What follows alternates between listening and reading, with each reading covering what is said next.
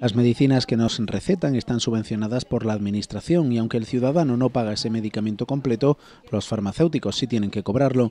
Es por eso que recortan el código de barras de la caja y lo pegan en un documento que después debe ser enviado al Colegio de Farmacéuticos para comprobarlo y validarlo. La facturación de la receta médica es el proceso que comprende desde que se dispensa el medicamento, es decir, cuando vas a la farmacia y te cortan el cupón precinto que lo pegas en una hojita, bueno, hasta que ese medicamento lo cobra el farmacéutico. Estos emprendedores malagueños han desarrollado un sistema para automatizar y comprobar este proceso y además hacerlo directamente en las farmacias y sin errores, ya que de producirse alguno el farmacéutico no cobraría ese medicamento. Una solución tecnológica que nos permite eh, validar, procesar, digitalizar y presentar la receta, eh, la facturación de la receta que hay actualmente eh, desde la oficina de farmacia. Actualmente este proceso lo realizan empresas subcontratadas que se llevan las recetas, las procesan y el farmacéutico no conoce si hay alguna incidencia, en algunos casos hasta un mes después.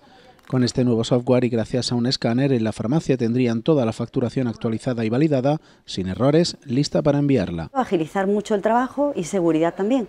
Ah, diariamente se repasa la receta, eh, se coteja mientras se hace la dispensación, luego se vuelve a repasar por si ha habido algún error y con el escáner pues sería mucho más rápido. En España existen 21.600 farmacias que dispensan anualmente 900 millones de recetas. Con este software denominado MKSIS proponen que sea el farmacéutico el que gestione todo el proceso, lo que conllevaría un ahorro de tiempo y costes. Reinventar el modelo o rediseñarlo. No hay mejor persona que el farmacéutico, ya que es su propio trabajo, para tener toda esta información documentada y, y, actualizada al día. Este proyecto forma parte del programa Minerva de Emprendimiento Tecnológico que impulsan Vodafone y la Junta de Andalucía.